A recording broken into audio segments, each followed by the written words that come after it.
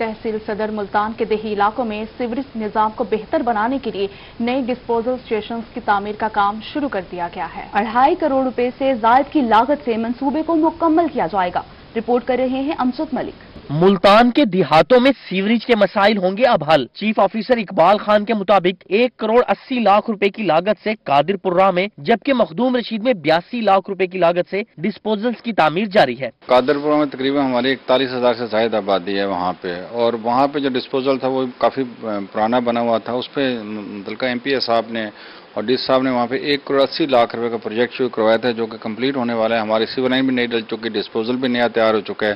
सिर्फ़ machinery install होनी है। Maximum within fifteen days या within month machinery install हो जाएगी। सीईओ इकबाल खान का मजीद कहना था कि बस्ती मुल्क में डिस्पोजल की मुरम्मत का काम जल्द शुरू हो जाएगा जबकि मुल्तान के देहातों में बत्तीस साल कबल डिस्पोजल तामीर हुए थे। आबादी के इजाफे के साथ यहाँ नए डिस्पोजल की अशद ज़रूरत है। ये बत्तीस साल पहले डिस्पोजल बनाए गए थे कोई तीस साल पहले बनाए जाएगा। उस वक्त इतनी आबादी नहीं थी।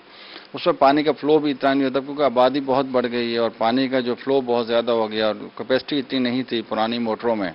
अब इन ताला नई मोटर लगा रहे हैं, ज़्यादा हॉर्स पावर की लगा रहे हैं, पाइप बड़ा लगा रहे हैं, पंखे बड़े लगा रहे हैं और उसके अलावा नया डिस्पोजल भी साथ साथ कोशिश करेंगे बनाया जाए। चीफ ऑफिसर के मुताबिक नए डिस्पोजल की तामीर से जहाँ सीवरेज का निज़ाम बेहतर होगा, वहीं पर बासियों की परेशानी भी दूर होगी। कैमरामैन एडी नवाज़ के साथ अमजद मलिक, मुल्तान।